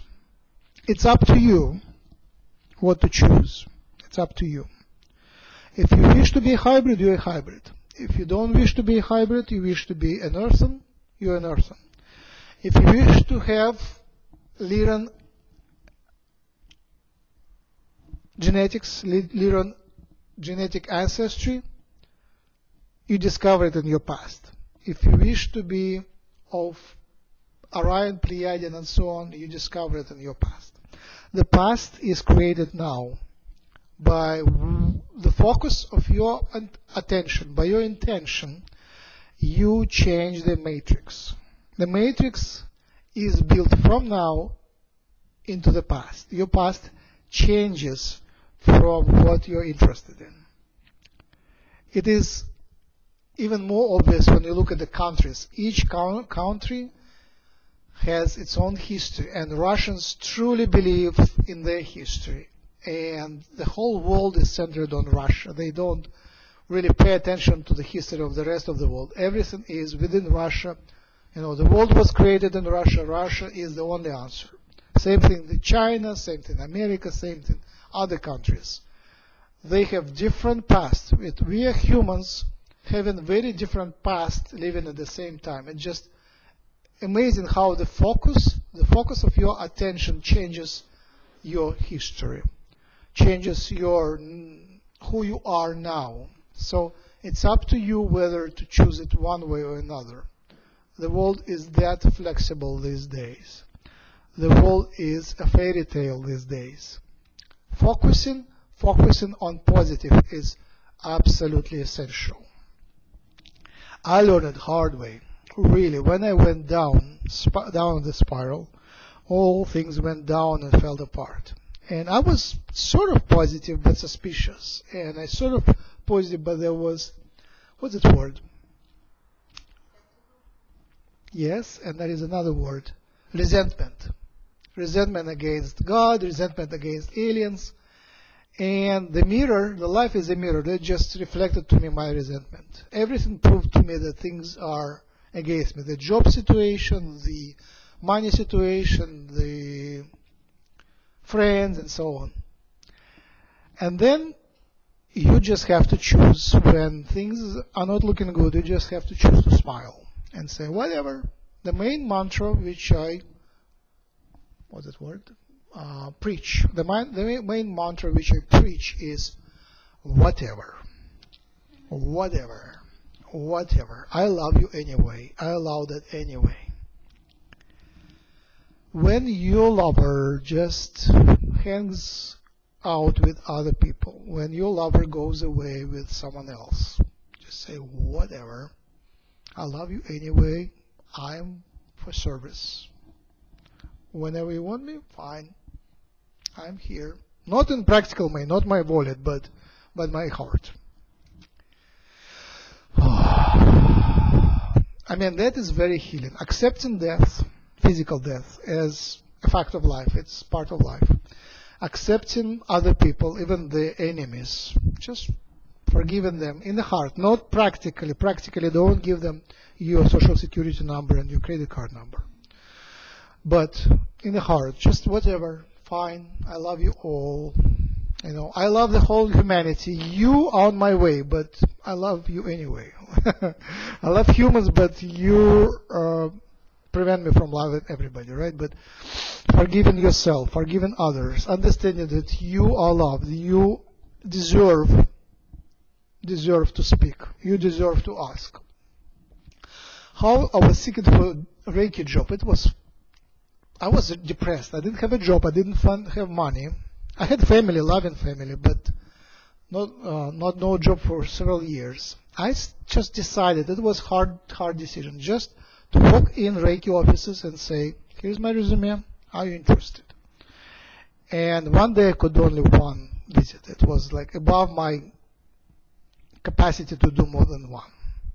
And sending by email is easier, but they never respond to emails. You have to send email and then call next day. Say, I sent you email. I offer blah, da, da, da. And uh, working in is also, you don't get a job where you walk in, but you learn their vibration. So if you have a place where you stay, you have an office which you want to work, maybe you start from another office. Just learn the art, learn the vibration, learn what is needed, learn their way of thinking by just action. It's like it's called in Russian. It's called uh, intelligence by attack. You just attack them, and then you discover the intelligence. You discover what you need to find out. Um, proactive, proactive. Talk to people. Ask you know do, if they know anything. If they give, can give you the calling people and just asking them for advice. Like calling Reiki people and saying, you know, how did you find your job? How did you end up? Offer them something, but sometimes you don't offer them anything. Out of five people you ask, maybe one will give you the key answer. And the key answer was actually Groupon, LivingSocial. It works. It just it doesn't pay. Doesn't pay. You don't. You know. You get even. You they pay. It pays just enough to pay for the office rent, but it creates a flow. That's how I get got out. It creates the flow. The people come to you, and just being helpful. I mean, you are serving, and no one, no one of my Reiki patients came by chance. Just no one. The spirits, the hand of the God, hand of spirits was absolutely clear. That person came for that reason. That person came for that reason. It was so obvious. Not not all, not many of them came back. Some come back. Thank you, you guys, you girls for coming back. Some come back, but it, you know, one one vibration, one introduction to my spirit vibration is sufficient. I just introduce here are my friends, here are my my vibrations. Meet them, and uh, and then you take it from here. I'm done. So now everything works fine. Now the the job of one of you was interested in the job of receptionist.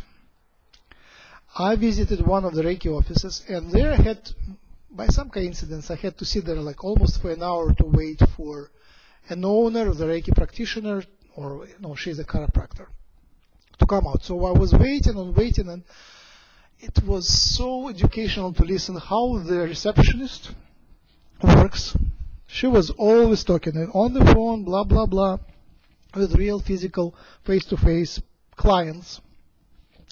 Every conversation became a sale, and every client who already went to her was retained and got a plan where he would come regularly. And sometimes we see on their face when she and the owner just met their eyes, this client is obnoxious, but we still give him what he wants and we keep him. the looks were like, it was a masterpiece of how they worked. It was a masterpiece. And it was actually very serving, very loving. They did their job and the people got what they wanted. And part of that, what they wanted, they just wanted to share their troubles and they got a friendly ear to listen. So, so walking in and just speaking to people, you always are entitled to ask. And in most cases, when I ask, you know, very rarely people look gave me strange looks. In most cases, they understood because they walked in the same shoes before they ended up on their jobs. Uh, like uh, in one place, I just walk on the street. I look. It looks like possibly a Reiki office. I walked in. They, it wasn't a Reiki office, but there was someone there who knew where Reiki office was. They sent me there. I went in, and then there we we ended up in a wonderful relationship, which didn't last forever, but it was a wonderful relationship. Now it's over, but yeah. By the way, I'm moving to San Diego in uh, in a month. If you have friends in San Diego, you can introduce. I would welcome that. San Francisco. Uh huh. Welcome to. Um, Chicago is special. It's one of the most contrasty cities. So much of darkness, so much of negative energy, so much of nonsense, and yet wonderful people. Maybe because of the contrast, because it was pulled so much into the darkness, there is so much light here as well. I met an alien here, like like a really not practically, not literally, but what's the other word? Symbolically, just a godly being. Just amazing. Uh, it's more than an alien, just somebody like a, an ascended master working here, speaking, channeling, and stuff. It's just. you know, What do you do if you meet an alien on the street and it's like very enlightened? What do you do? Or, or in a Reiki office whatever. What can you do with them? You just you are thankful. You have gratitude. You already experienced that. What what else can you do? An angel, like if you have a visit by an angel. Some of my friends had a visit by an angel, usually in a suicide position. Most people who were miraculously surviving suicides or car crashes actually died and then were pulled back because their contract and other spiritual ideas suggest that they have to continue. The energy flows wonderfully. Okay, how do you go from here? First, stop stop worrying, stop being afraid. Be practical, be afraid on practical level. Be cautious, but in the heart, stop being worrying, stop dwelling in the darkness, stop dwelling in unhappy love. Bless everybody. Bless everybody. And if um, I, I see so many girls who who cry over their cell phone when they receive the certain message, just block it. Block it. Don't take whatever is good. Don't take whatever is worrying. Just say thank you. I'm in a bliss. I am connected to God's. I bless you. That's it. That's the first thing. See the positive side everywhere.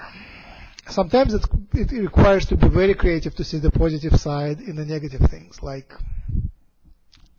my friend's dog died. How can you see a positive side here? Obviously, look in the past.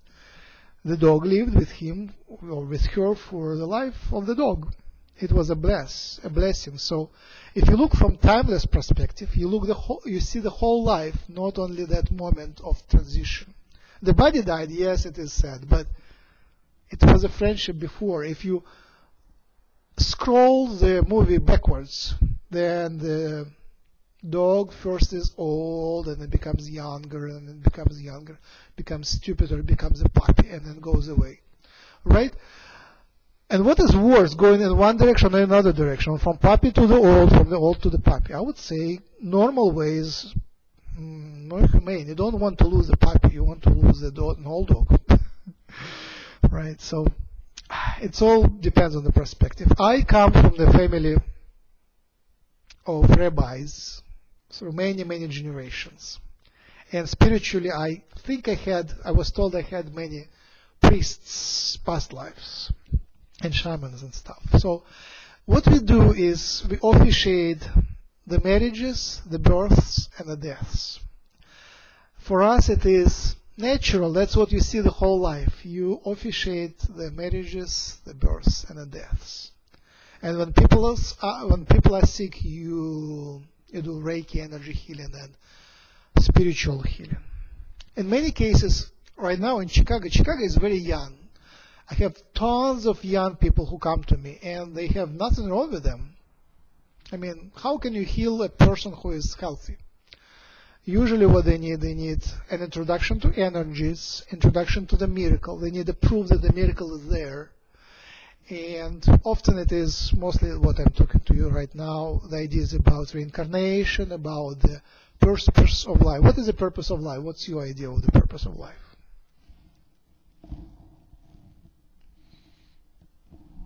What's the purpose of life?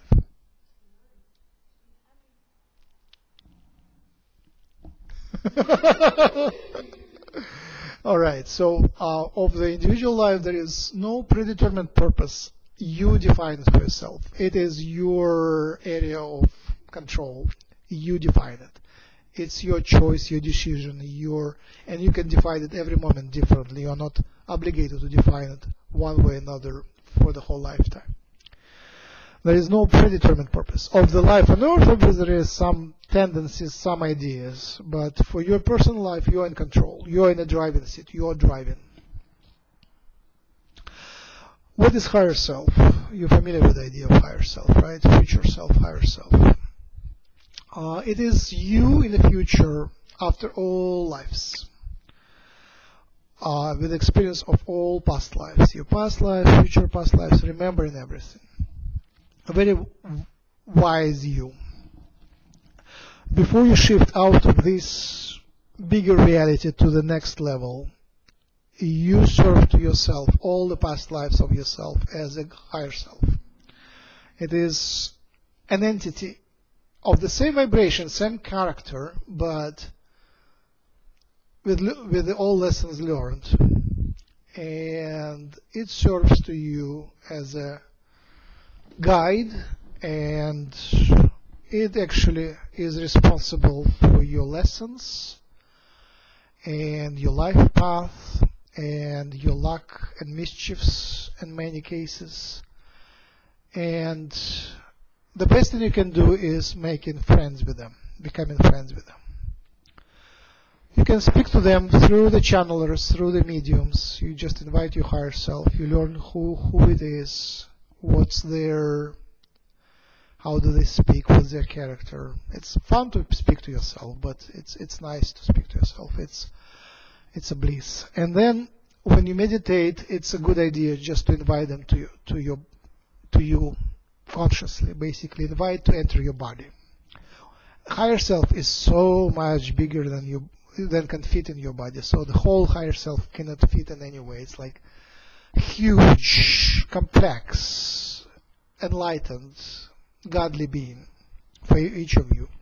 But you invite, and for me, it usually feels like buzz in the whole body. When it enters, it's goosebumps and buzz in the whole body. And usually, I can't even think much. I I'm kind of so happy. I say welcome, thank you, and, and that's all I say. And I kind of go away. But that's one of the main things you can do.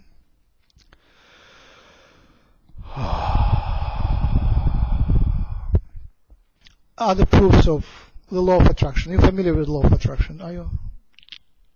And all, obviously there is a law, law of repulsion, but similar things attract to each other, opposite things, mm, incompatible things repel. So if you purify yourself, if you become very pure, very enlightened, bad things just don't come to you. The whole world, the whole world can fall apart. The war can start, and if you are in the bliss, you won't even notice. You won't be even here noticing things. In America, since 1929, there was no big hell happening in Europe and Russia, there is much more recent things where really bad things happen, and they're much closer to us, much closer. So we have friends and family and stories of really bad things happen. And you just see some people suffer a lot, and there were some enlightened people in the middle of the nightmare of the of the World War or or the concentration camps, and they just went through that seeing the positive side, not being afraid, not being being practical, but not being drawn down, being strong inside, being pure inside. They just went through that, survived that, and continued to carry the light. So that idea of being pure and carrying the light and making the light burn inside of you, making strong inside of you, that's the idea. In this time of the year, if you have the option, play with the light burn the fireplace, uh, fire in the fireplace, the candle, the campfire outside, campfire on the beach. Don't be practical. Don't be caught by police. On a grill, that's permitted. On a grill, you can burn the firewood which you bought on a grill in the, in the permitted time of the uh, day. Do that. And learn from it. The fire requires care. When I see the people making the fire, I can see them that if they energetically reach, the fire is happy. If they are vampires are unhappy, the fire wouldn't even burn. It would make a lot of smoke and wouldn't burn. And uh, to help it, you have to put nice wood. You have to take care, make sure the wood is placed properly, make sure there is not too much wood, not too wet wood. You don't put too much of the fuel, and then it burns perfectly. If you blow a little bit of air, it helps. If you burn too much on a little fire, it will blow it away. So, same thing you do with your inner fire. Absolutely the same principle. Just feed it well. Stay focused. Stay focused. Uh, don't make too many small fires. Make one focused, bright fire. Feed it well and let it be happy and well cared. You have to protect it from certain things You have to be pure in what you do and what you absorb. If some bad things come to you and you don't want to focus on them, just let them pass through or reflect them or dodge them. Don't take them in. Television, don't listen to that nonsense. You don't have to be on this side or that side. That's the galactic Reiki. There is a third side. There is happy four-dimensional humanity that is coming through you. Be on the side of the new humanity. Don't be dragged into the conflicts which are very artificial. That versus that, where you realize both on the same side, both are fake, both are playing the drama which is pre-programmed fake. That is another word. Fake drama. Ah, yeah, you know all these things, we- all these people and um, parties and forces that pretend to be fighting each other. They all have direct communication lines. They all negotiate whose turn is to do which step. They all negotiate the steps which you take.